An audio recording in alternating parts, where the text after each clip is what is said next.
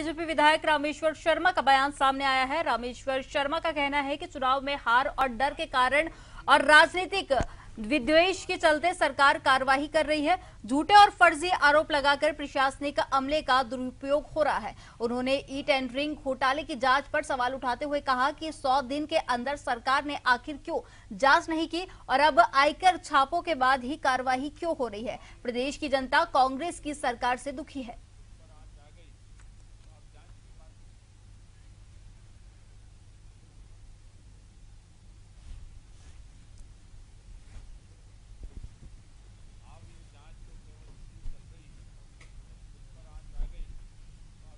कांग्रेस जो है, चुनाव हार के डर के कारण और राजनीति विद्वेश के कारण झूठे और फर्जी आरोप षडयंत्र के बनाकर वो मध्य प्रदेश के प्रशासनिक अमले का दुरुपयोग कर रही है।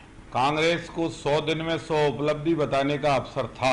अगर भारतीय जनता पार्टी की सरकार उसको कई मायने में गलत लगती थी तो 100 दिन में ये जाँच 100 कदम भी क्यों नहीं चली? अब ये जाँच तो केवल इसलिए चल रही है, जब खुद पर आँच आ गई तो आप जाँच की बात करने लगे। मध्य प्रदेश की जनता, शिवराज सिंह चौहान जी की सरकार से खुश थी। आज की सरकार से मध्य प्रदेश की जनता दुखी। कांग्रेस के वरिष्ठ नेता सुरेश पचौड़ी का बयान